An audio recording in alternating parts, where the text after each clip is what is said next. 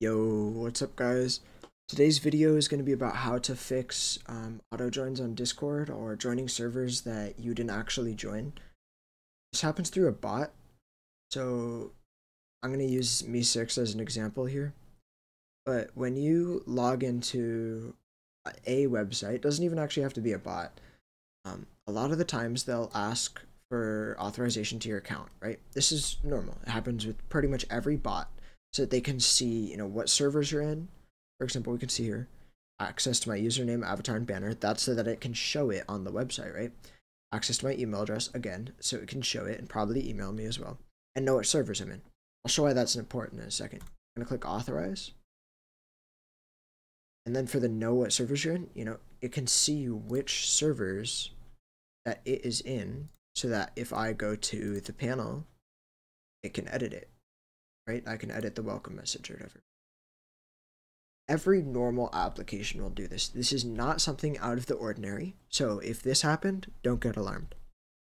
But what you're going to see here is if MEE6 wouldn't do this, but if a bot is joining servers for me and I couldn't figure out why I was getting automatically placed into servers that, you know, I'd never heard of before, it's a really quick fix here.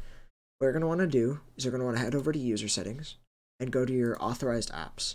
For example, MEE6 is on the list because that's the example I used for this video. And, you know, you can see there's permissions again. Now, the bot or the app that you are looking for when you're trying to find the correct one to deauthorize is going to be one with the little check mark here again and it will say join servers for me or you know automatically join servers for me.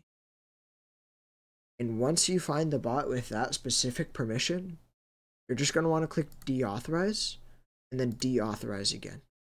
And for proof that this actually works i fully reloaded my browser by the way. If i go to the MEE6 website it's going to have the login prompt. I can refresh it as many times as i want but it no longer has access to my account. Right? So it won't know, it won't be able to join the servers for me automatically anymore. It's a really simple fix. Um, you know, it's not that complicated, but in case it did help you guys out, I would really appreciate um, a like or sub because this is a new YouTube channel. You know, I'm just trying to help people out. I'm probably going to be posting some more Discord account security videos. By the way, if you have any if you have any problems with this, I will be responding to comments. Um, if you have anything you'd like to add, again, I'll be responding to comments. Um, but I hope this helped. If anyone was having trouble, you know, I've had this issue in the past and it can be really annoying. So if this did help you, you know, just drop a like. Um, I hope you guys have a good day and I hope this solved your problem for you.